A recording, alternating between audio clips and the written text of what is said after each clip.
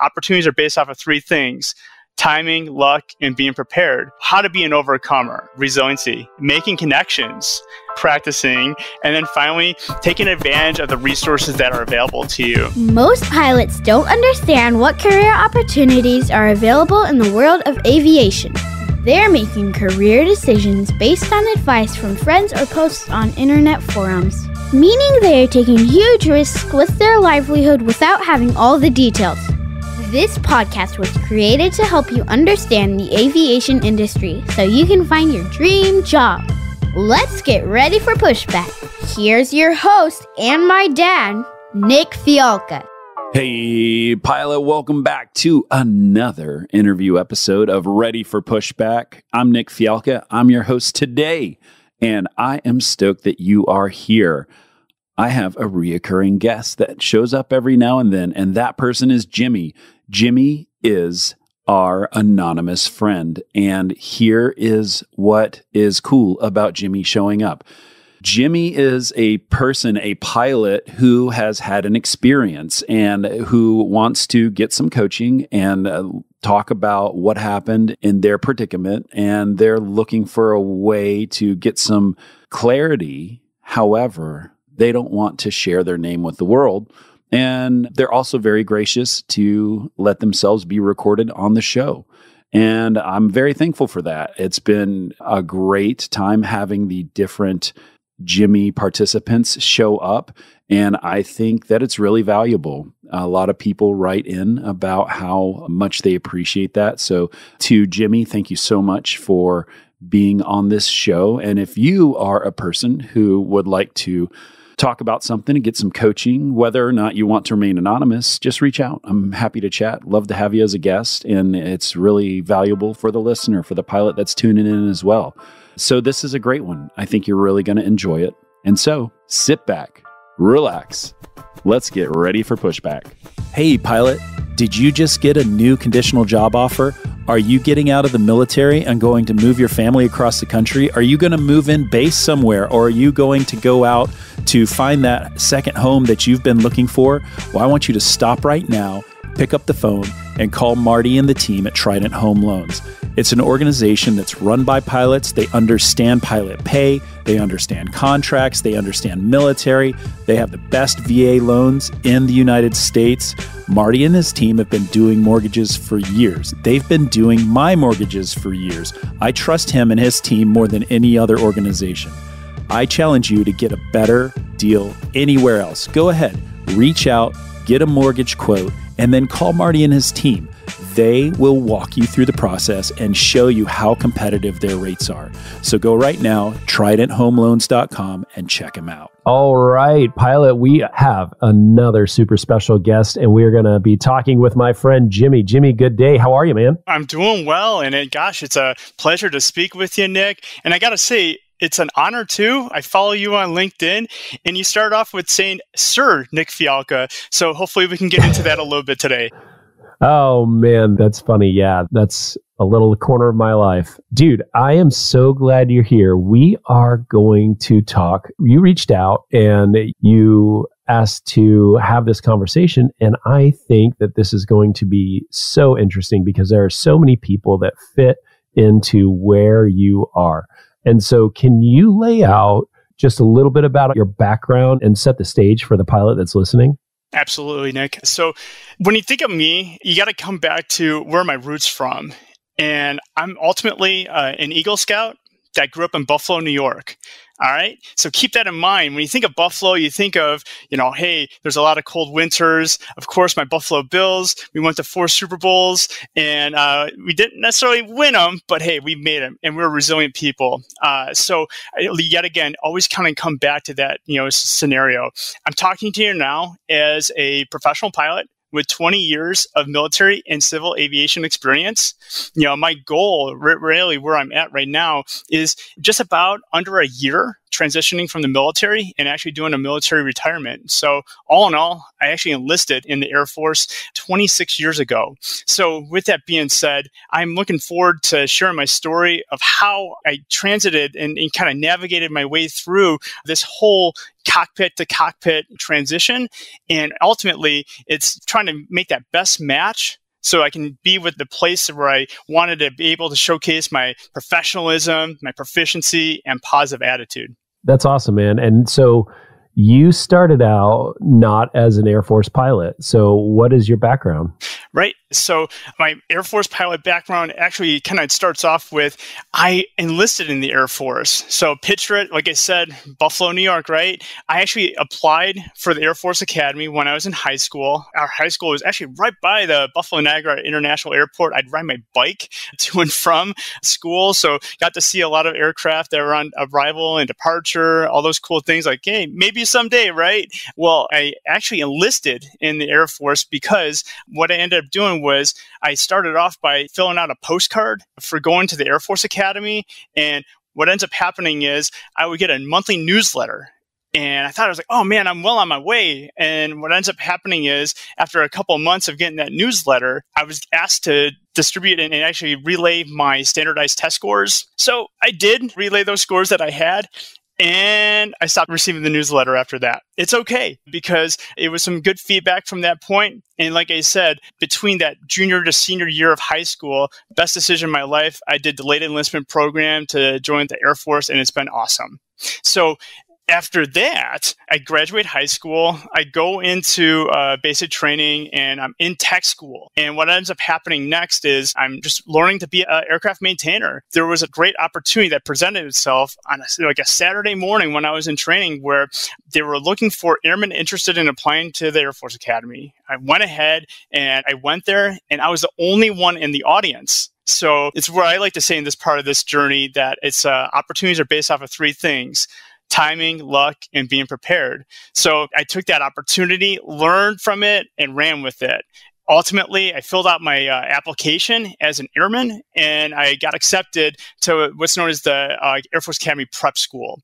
So the 10 month program from there is uh, complete. And then four years to follow, I go ahead and get commissioned as an officer. Once you were commissioned as an officer, where'd you go after that? Sure. So I was able to go on to pilot training. I started off staying at the Air Force Academy, lovely Colorado Springs, flying the Diamond DA 20. It was fun. We did what was called initial flight training back then, and I was able to earn my private pilot's license fast forwarding, I did go on to uh, pilot training uh, down in Texas and flew the T6, the T1, really had a great time. Ultimately, I was uh, selected to fly the mighty KC 135 Stratotanker out of North Dakota. And that was one of the, yet again, uh, an opportunity that I ran with. So for the next four, four and a half years, I went ahead and I did a ton of flying, whether it was at home station, but mainly when there was some deployed flying flying over supporting Operation Iraqi Freedom and Operation Enduring Freedom. So over those four and a half years, I accumulated a boatload of total hours, PIC time, and all. In 2009 is what happens, another interesting point in my life when the Air Force is looking to bolster up a new mission, and I get selected to do this thing called unmanned aircraft flying. So for the next, uh, you know, nine years, I go ahead and I fly the MQ-1, and then for the past four, I've been doing the MQ-9.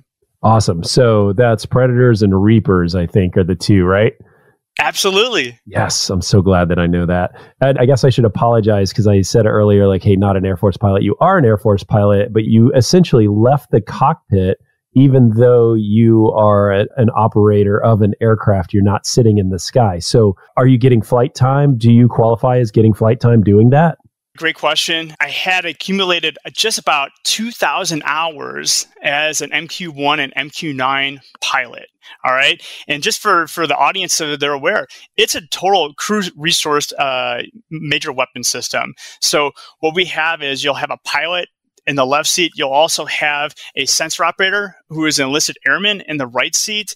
And we are accomplishing the mission, which is basically persistent attack and reconnaissance. And I can tell you what, for the ability for us to operate around the world It is amazing and a surreal mission because, like I say, what we have that ability to do is through satellite communications, have, like, say, where you're at Nik, in your house right here, like you'd be at your local base, we can actually work through the data links to have you control a plane that could be anywhere around the world. All right. How this relates back to what I'm trying to talk about for an unmanned aircraft journey in my pathway. Like for the past 10, 11 years, we had this other side mission which is called Launch and Recovery Element. It basically is the remote takeoff and landing capabilities. We use a, a frequency that basically has the ability to have real time reactions as you're flying the plane inside the ground control station, as we call it, our cockpit. You're able to do the takeoffs and landings pretty much remotely. All right. And it is manual. We are controlling the plane as if you were in the plane. All right. So for the past 11 years, I've been doing that, whether it's the MQ1, MQ9, and about two years ago, it was an honor for me to have been selected. We're actually deployed for a year out to a overseas location where we actually did. I was the commander for our squadron where we did those remote takeoffs and landings, and it was a huge amount of pride taken for our squadron to be able to deliver uh, disciplined aviation as far as that capability is concerned, so that we can meet the daily air tasking orders. So if I am trying to build flight time and things like that. Can I log that time? Can I put that in the book? Is there a special category for it or is it PIC or how does that line up? So I mentioned to you, I had that just near 2,000 hours of MQ1s and MQ9 time. As I was going through this past year of coming up on, I'm doing my research for a cockpit to cockpit transition for the airlines. I actually had to take that time and move it to the side none of that accounts. So I think yet again, when I was doing a lot of research, one of the interesting things was I came across this group called RTAG. And I listened to episodes. I actually attended the RTAG convention last October, and it was really cool to hear Josh Lee say how he shook 3,500 hands of the attendees. Well, I was one of them, and uh, really enjoyed seeing everybody in all the red shirts. And yes, absolutely everything you've mentioned during that episode, I can attest to it. I was there.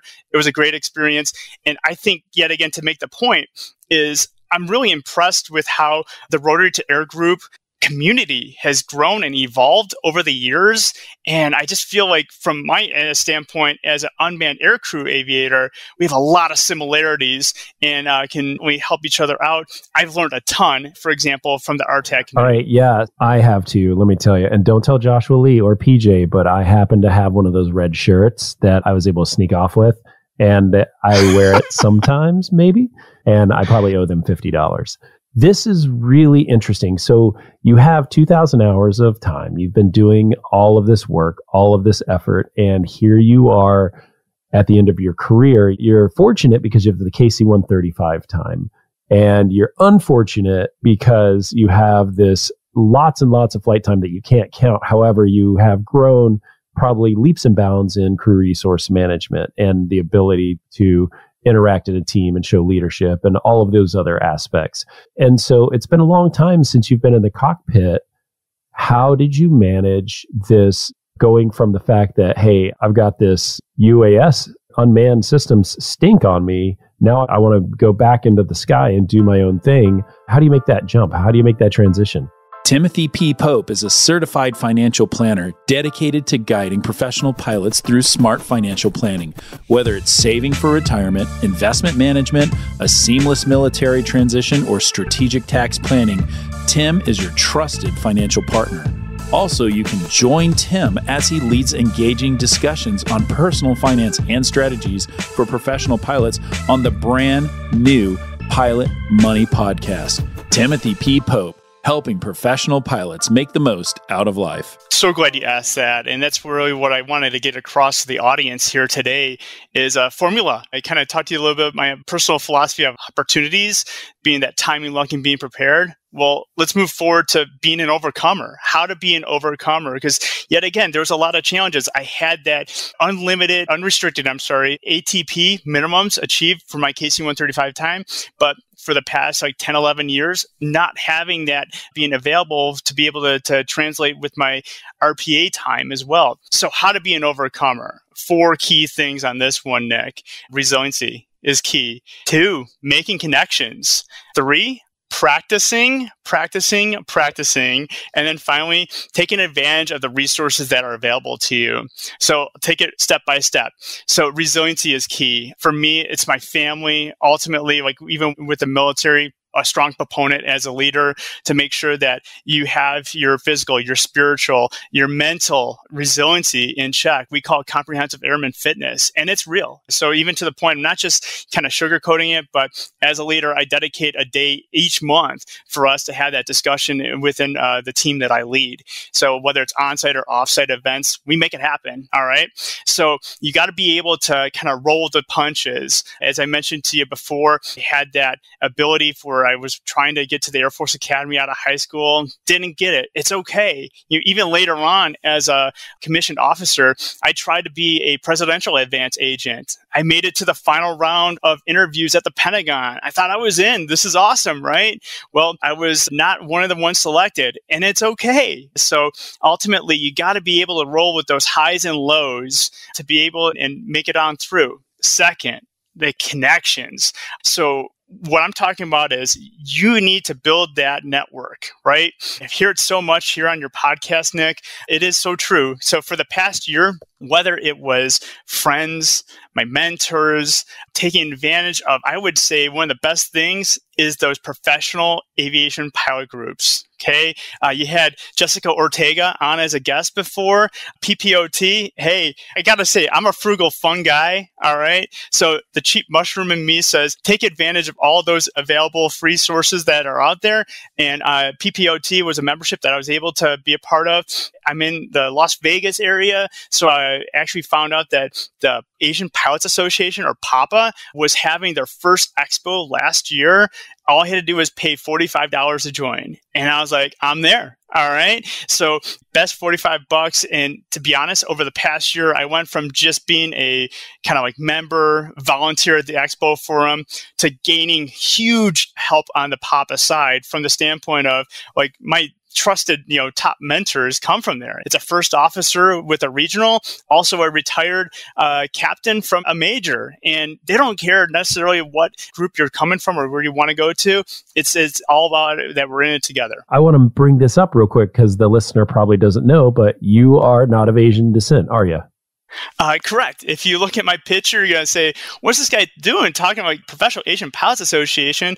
I kind of mentioned to you how I've grown over even just this past year of just being a member to like, yet again, earning the trust. But I got to say, to not just being a volunteer at the expo last July, this past January, I was honored to be selected as the Southwest region lead for PAPA. And so, six states, uh, we work on two major things as far as our social events to encourage the interaction within members, and then also educational outreach to the community, especially young aviators. So, it's just been an honor. And I got to say, the most welcoming group. I know there's so many good groups that are out there, but for me personally, and this is where you got to find your fit, it was Ben PAPA for me. So, I really enjoy it, and I'm really honored and lucky to be part of their team. All right. So, where were we on our steps here? We did step. You got it. Hey, you're tracking. We're halfway there. So the connections are made, right? Now it's time to practice, practice, practice. All right. In my storyline, yet again, I did a ton of research. I actually had applications with, oh gosh, about 12 different airlines because I heard you got to get that wide net, right? And what ends up happening is I go ahead and I'm seeing that like my way forward is trying to go through and utilize a pilot pathway to kind of overcome the recency hurdle, if you will. I actually apply for one. I get accepted from a majors airline for their pathway program to actually interview. And I do that in the last November timeframe. I was honored to be there. Thought I rocked everything. And a week later, it just so happens it was the week of Thanksgiving. I get a call, and that call said, Hey, Richard, thanks for applying, but on this round, you haven't been selected. And it's okay. So the key thing I got from that was I got some feedback from it. And for that reason, I was able to learn some stuff on how to improve skills, uh, interview skills, and also uh, to pretty much get back into some man flying. So fast forward even a, a, little bit forward, I attended another pilot job fair. Uh, got connected with a Part 135 that thought it was another good connection, SkillBridge program opportunity. I went ahead and applied for that. Interview went really well, but the same result kind of happened. I wasn't selected, and I was kind of doubting myself. So kind of going back into that rule number one of being resilient. But I learned and applied that feedback that I received, which was to practice. And it was the key phrase that I applied in that regard was to utilize the LinkedIn kind of like they have a premium edition for interview simulator uh, scenarios. I was able to kind of practice them out and to kind of close this point down is one of the best things that happened to me was to uh, go ahead and actually have my family sit at the kitchen table and kind of act as the interview panel. I went ahead and actually, you know, it was like, you know, when I got an opportunity to re-interview with that majors pilot pathway program again, I was able to go ahead and have my family each and every day. They acted and they kind of like had random questions for me. They even changed their names each time. So we had the ability to really put me on the spot. Okay, so you got to practice, you got to be all into it. The final thing is to take advantage of pilot transition resources. So I told you before that I was uh, deployed overseas for a year. And outside of accomplishing the daily mission, I did have some time. I knew I was coming up on the transition. So I took advantage of watching a lot of podcasts, YouTube episodes, all those uh, you know kind of resources that are out there, study materials for training courses and such. I encourage anybody that has this drive and has a dream of doing the transition, you got to be all involved into it. I kind of even checked in prep for this uh, interview with you, Nik, that I was like, you know, how many subscriptions do I have on YouTube for podcasts that are aviation related? And I think I'm right around 50 so far. So I know you got to be into it and you got to ultimately learn something new each and every day. Well, I certainly hope this is your favorite podcast. That's uh, golden. Uh, yes, of course. All right, man, that's so good. So we have resiliency, connection, practice, practice, practice, and then take advantage of the resources that are out there. And so right. here you are, you got denied a couple times. And so how did you recover? Where did you go from there?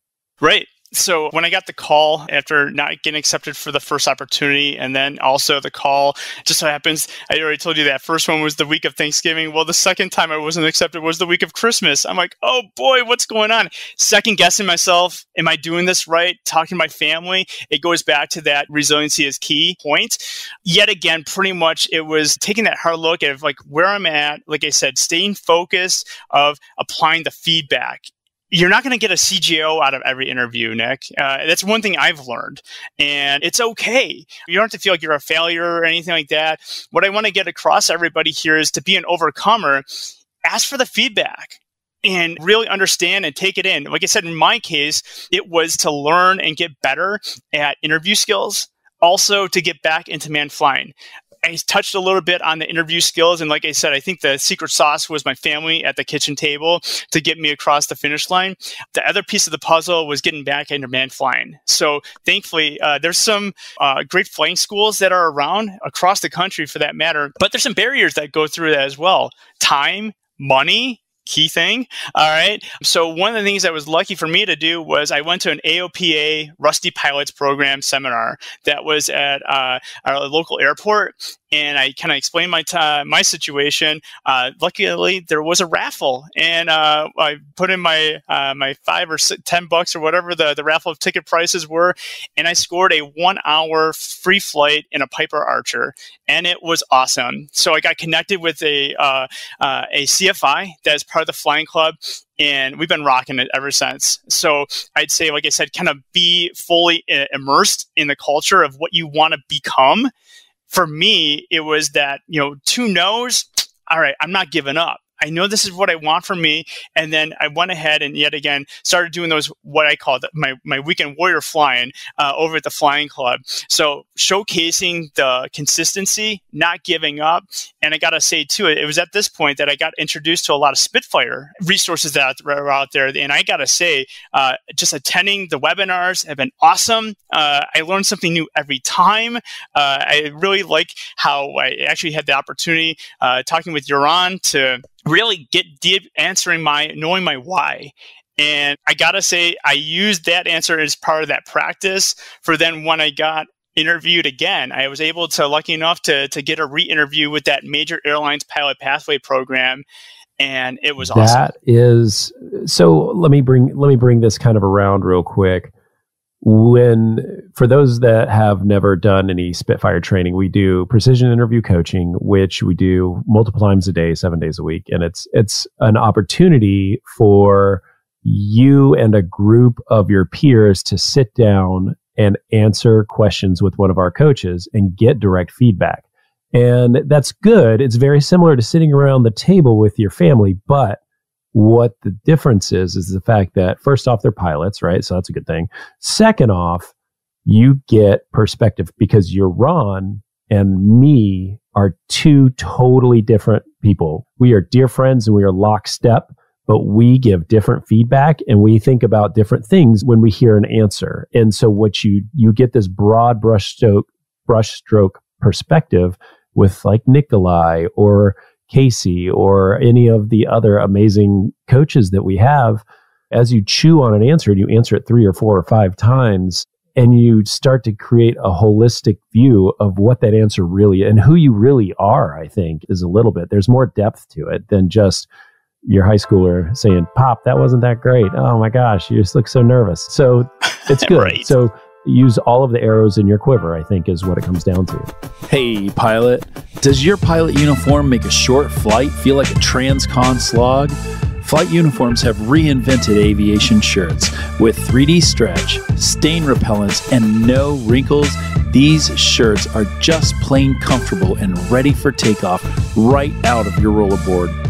Flight Uniform is trusted by more than 25,000 pilots, and their flagship flight shirt has over 1,500 five star reviews. I've worn every pilot shirt out there, and if you know me, you know I only wear flight uniforms. Be the envy of every cockpit at flightuniform.com and get a special podcast exclusive discount with the code SpitfirePod20 to take 20% off your first order. That's SpitfirePod20, all one word, for 20% off your first order at flightuniform.com.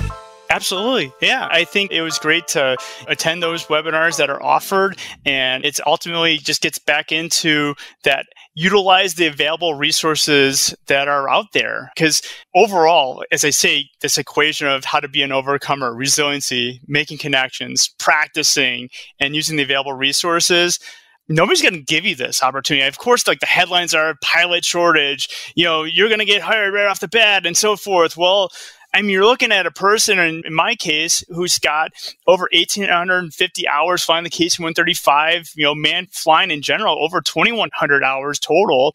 I even have, like I say, the the 2,000 unmanned hours, and I thought, oh, slam dunk, right? No, it happened in my case where it was the hearing a no not once, a no a second time, but not giving up and just identifying the knowing my why and moving forward to understand that this is where I need to be at. And I use that as a drive and follow through to accomplish based off of that feedback that I received off of those no's to then invite for a re-interview. And my view really kind of like moving forward and ultimately that's my motto is to keep on aiming high. And it's a mindset, Nik.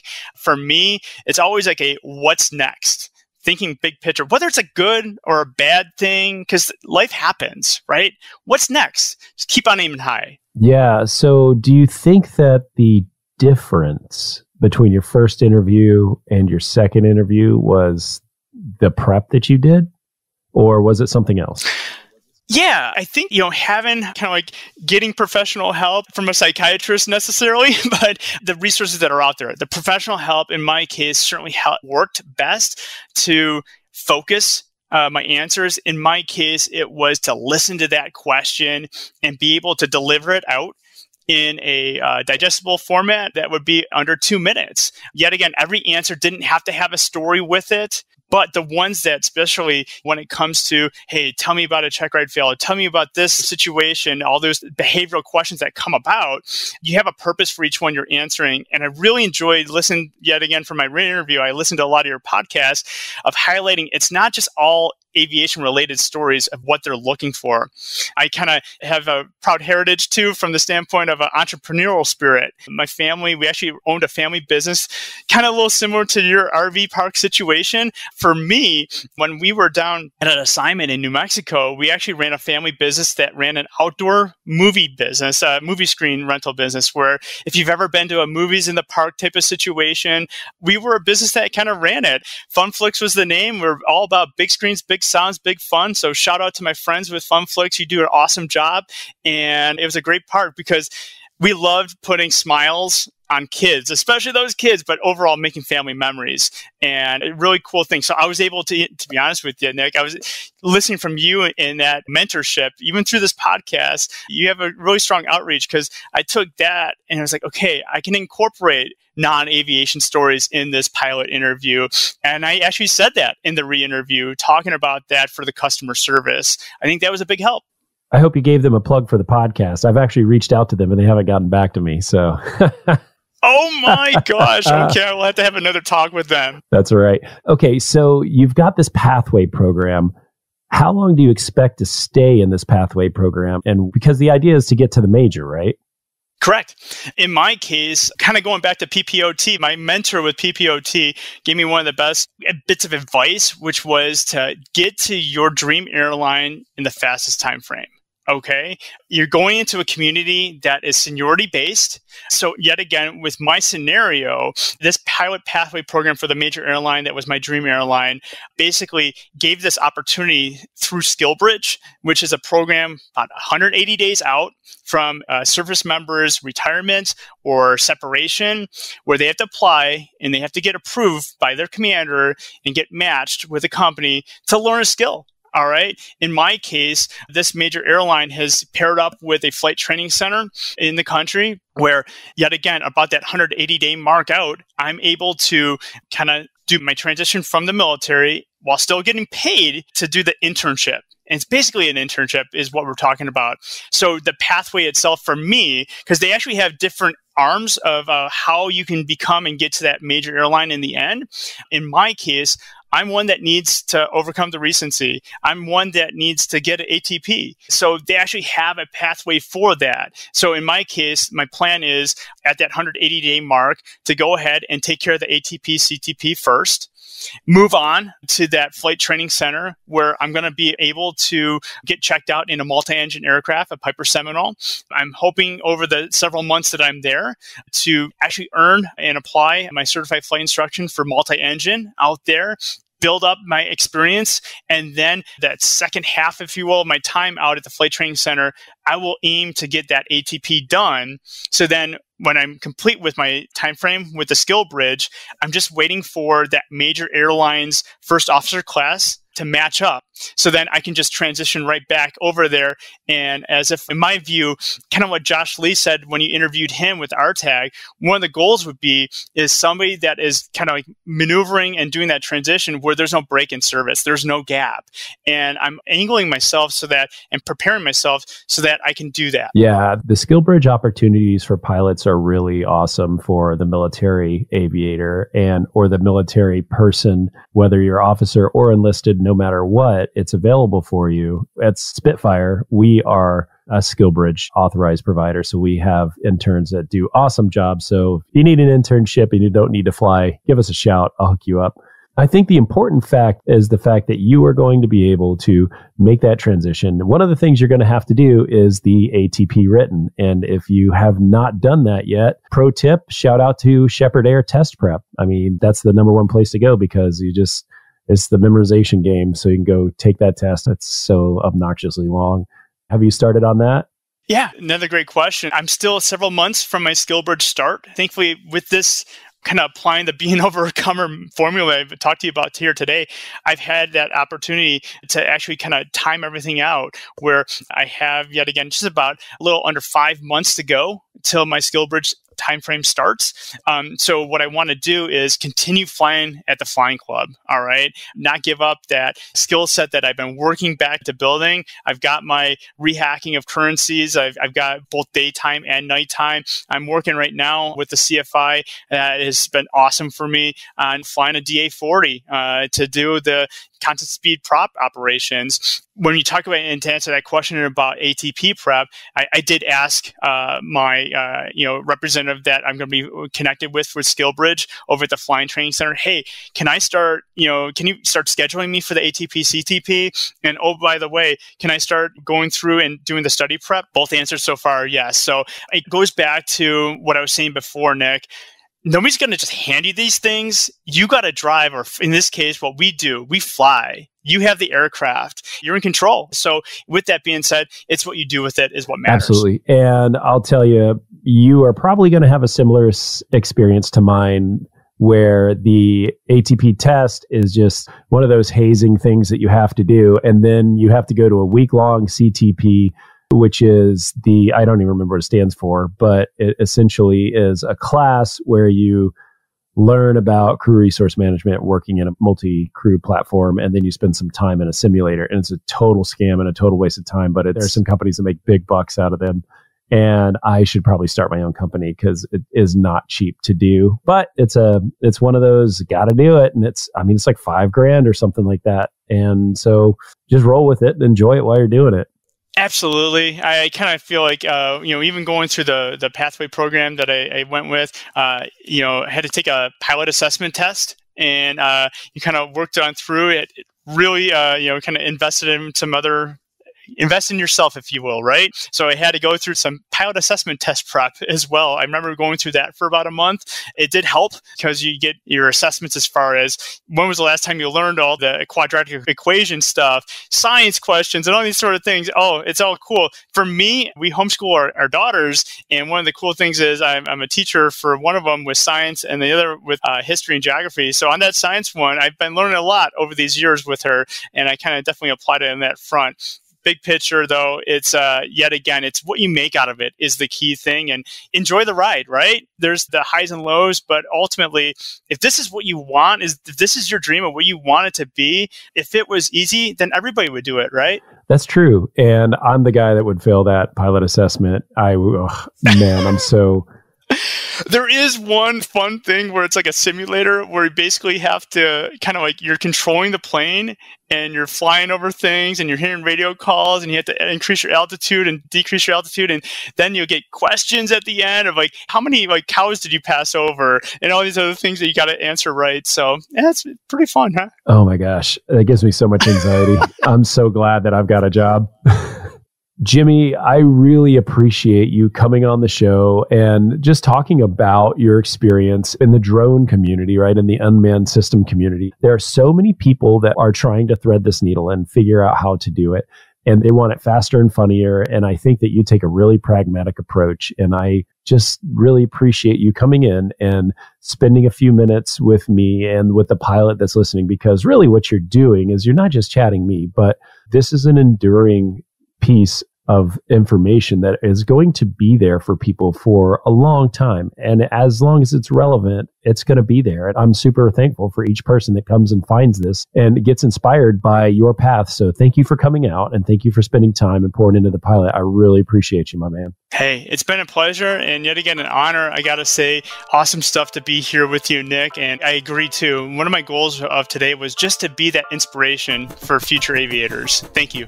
This is important. Before you go, you need to know that 2024 is going to be unbelievably competitive in the world of pilot hiring, and you need to make sure that you separate yourself from the herd. The only way that you can guarantee that you'll land your dream job is by partnering with Spitfire Elite Interview Consulting.